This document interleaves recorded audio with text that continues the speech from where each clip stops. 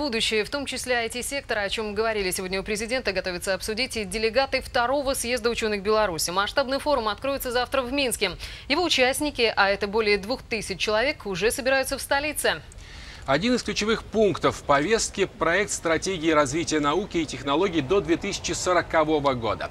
Специалистам со всей страны и зарубежья, а также представителям власти предстоит поговорить не только о сферах современных знаний, которые заслуживают особого внимания, но и о том, что нужно сделать для поддержки отечественной науки.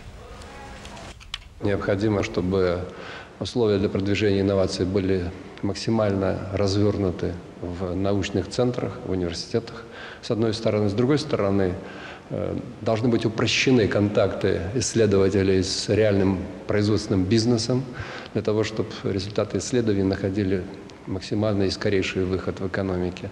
Естественно, что нужен целый комплекс условий для создания э, непосредственно хороших условий для работы исследователей в лабораториях. Это материальная база, стимулирование ученых. Первый съезд ученых Беларуси прошел еще 10 лет назад. Предстоящая встреча станет финальным аккордом года науки.